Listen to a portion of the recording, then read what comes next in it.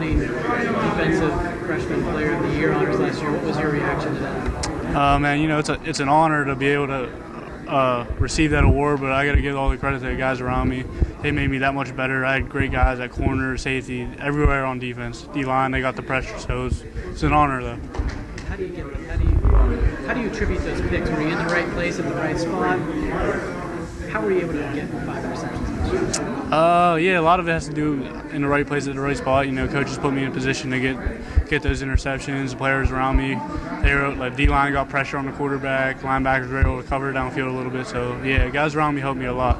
Coach Wiley said, you know, he doesn't care if you're a freshman or a senior. You know, leadership can come from a lot of different spots. How have you taken that approach? You know, being just a sophomore, but being somebody that's going to be counted. Yeah, I realized I was able to make a big contribution to the team last year. So uh, I kind of took upon myself that I need to be a leader this year and get us on the right track, get us going in the right direction. So yeah, I accept that role and I, I can't wait to start.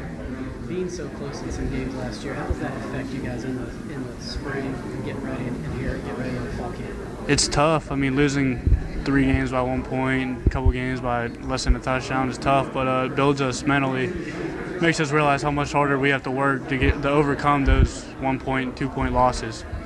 What about the league? You know, you got to see for the first time this year. What was maybe your impression coming in, and then afterwards, what was your impression of the league? Um, shoot, after playing this league, you realize how talented this league is and, and how good the guys are that, that play in this league. I mean, for example, you see Tre Sullivan and Billy Brown are with the Eagles right now, so it's a great example of how really good this league is.